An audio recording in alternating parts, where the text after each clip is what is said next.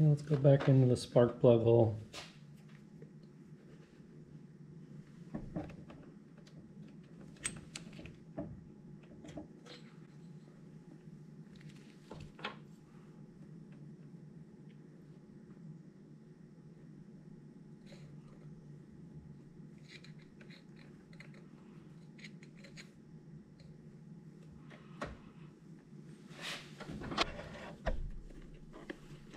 Cross hatching looks pretty good. I just see a lot of oil in there.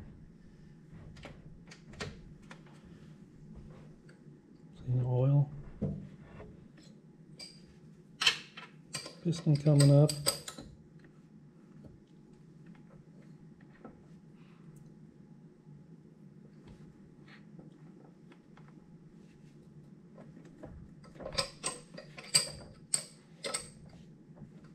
And back down.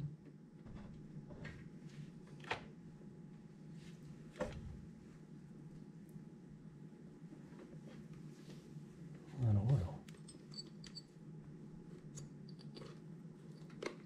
Man. Looks like the rings are bad, huh?